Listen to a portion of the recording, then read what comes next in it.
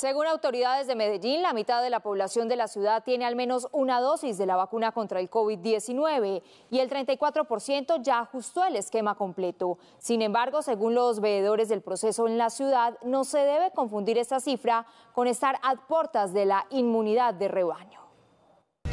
Para la veeduría al plan de vacunación, las cifras deben tener un mejor análisis, pues se debe considerar inmunes a quienes tienen las dos dosis. Aquí hay 653 mil personas, habitantes de Medellín, vacunados con esquema completo, lo que corresponde al 30% de la población y no al 50% como está diciendo eh, alguien.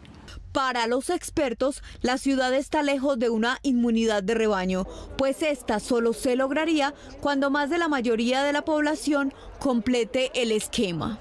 ¿Cuál es nuestra conclusión?